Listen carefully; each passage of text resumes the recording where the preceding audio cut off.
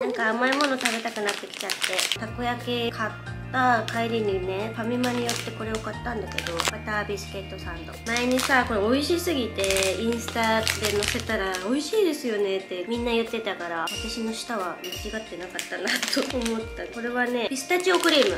新発売。レモンとかねチーズは食べたことあるんだけどこのピスタチオっていうのは私今回初めて。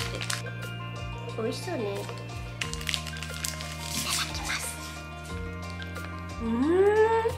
しいわ。ピスタチオの味もするけどチーズっぽい感じの風味が強いかも。美味しい。